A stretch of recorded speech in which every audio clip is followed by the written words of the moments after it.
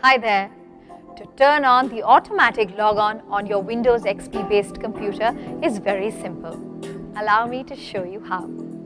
At iYogi, we constantly work towards helping you achieve a smooth computing environment. Now please remember that once your system is set for automatic logon, anyone who has access to your system would also be able to access all data, files and folders present on your system.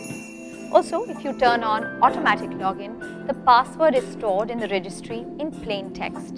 So, here's how you can turn on the automatic logon on your Windows XP based computer system. Follow me. Click on the Start button. Click on Run. In the open box, type Control User Passwords 2. Click OK. Clear the users must enter a username and password to use this computer checkbox. Click apply. In the automatically log on window, type the password in the password box and then retype the password in the confirm password box. Click OK to close the automatically log on window. Again, click OK to close the user accounts window.